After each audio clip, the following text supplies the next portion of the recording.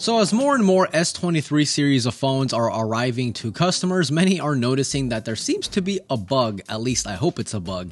But uh, apparently, the system files, right? So, the amount of space the actual phone takes up just with the pre installed operating system, the apps, everything uh, basically, the storage that the phone takes up out of the box in some regions goes up to 60 gigabytes. This seems to be affecting the US and some European countries.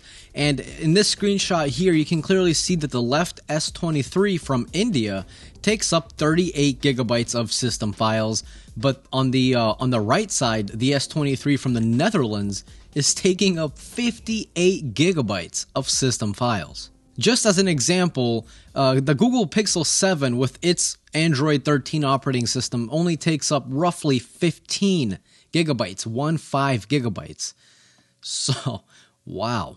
Could you imagine buying a 128 gigabyte S23? You unbox it, you're excited, you can't wait to use it, and then you're like, "Oh, I only got half the half the storage." Samsung. Now, thankfully, if you pre ordered the phone, which you still got time to do, Samsung is doubling your storage. I'll have an exclusive link down below for you guys to check out.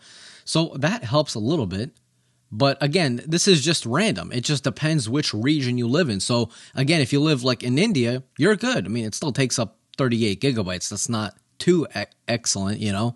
But I mean, if you live in the US or some European countries, whatever those some are, we don't know, but it can go up to 60 gigabytes. That's insane. An Android system that takes up a lot of space isn't anything too new because the S22s uh, took up roughly 25 gigabytes of system files, but it's certainly not 60. Now, this could be a reason for pre installed apps that come with Samsung phones, such as Netflix, Microsoft Office, LinkedIn, um, and, and, some duplicate apps. Like you get like two two calendar apps, two uh, weather apps, and, and you just get two mail apps, two messaging apps.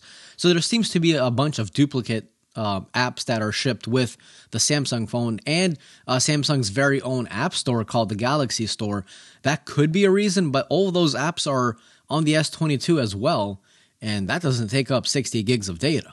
So it could be a bug because uh, pre-installed apps shouldn't take up that much data. It, it, just really shouldn't. That is like that. I mean, just an example: GTA Five, right? The game that Rockstar is squeezing like a lemon, right? Like a fresh cut, juicy lemon that brings in millions, probably billions of, actually, yeah, probably over billions of dollars. Even that game takes up like roughly 65 gigabytes of data. So basically, your S23, depending on where you live, has a GTA 5's worth of data on it. I'm going to start using GTA 5 as a measuring metric. Nice.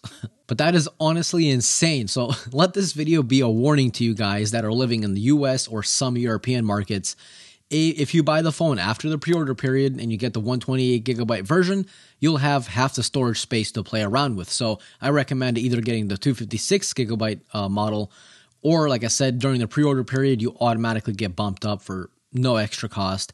Uh, obviously, if you're getting the, the, the plus model or the ultra model, you won't have anything to worry about because those phones start out at 256 gigabytes. It's almost like Samsung knew that there was going to be a problem and that's why the Plus and the Ultra don't start at 128 gigabyte model. Maybe this is Samsung's way of saying, hey, pay more money for the newer phone, or the better phone, I should say, and that's it. Or at least the phone with the bigger storage. Um, so again, I hope this is a bug, but um, don't hold your breath. So, guys, that's basically it. Just wanted to make this quick little warning video for you. Um, if Samsung does fix the issue, I'll make an update video and I'll probably even delete this video because uh, then this video will be completely irrelevant if the issue is fixed. Uh, but chances are, if you're watching this video, the problem is still occurring. So, yay.